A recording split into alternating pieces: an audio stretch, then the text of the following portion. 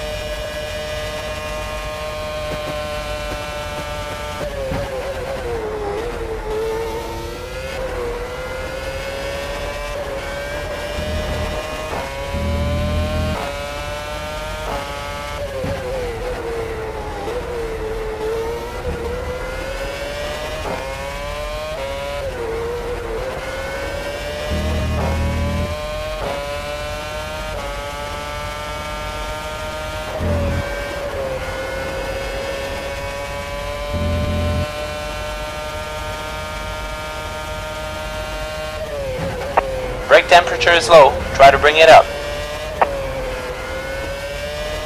Grip level should be optimal, temperature is in correct range.